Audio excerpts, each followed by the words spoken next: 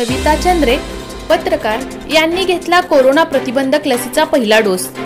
धानकी राज्य उपाध्यक्ष प्रेस संपादक व पत्रकार सेवा संघ तसेच धनगर समाज युवा मल्हार सेना युवती प्रदेश अध्यक्ष व पोलीस बॉईज विदर्भ अध्यक्ष पत्रकार सविता चंद्रे पाटील यांनी आज ढानकी प्राथमिक आरोग्य केंद्रात कोविड शिल्डचा पहिला डोस घेतला आहे. ग्रामीण भागातील नागरिकांमध्ये कोविड प्रतिबंधात्मक लसबद्दल अनेक समज गैरसमज आहेत. परंतु कोविड प्रतिबंधात्मक लस ही अत्यंत सुरक्षित असून ती सर्वप्रथम डॉक्टर व शासकीय कर्मचारी यांनी घेतलेली आहे. तसेच महाराष्ट्रातील मंत्री व अनेक सामाजिक राजकीय नेत्यांनी घेतली आहे.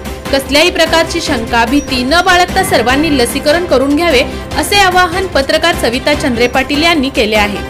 राजकीय सामाजिक कार्यकर्ते पत्रकार व सुजाण नागरिकांनी ग्रामीण जनतेत लसीबाबत असलेले गैरसमज दूर करावेत आणि लसीबद्दल सकारात्मक प्रबोधन करावे. सामान्य जनतेला विश्वासात घेऊन लसीकरण करून घेण्यासाठी पुढाकार घ्यावा व शासनास सहकार्य करावे. कोरोना प्रतिबंधक लसीकरण पूर्ण केल्याबद्दल केंद्र सरकारचे प्रमाणपत्र देण्यात आले. यावेळी doctor Govind Jadhav supervisor Dursing Rathod nurse Sunita Rathod उपस्थितीत होते.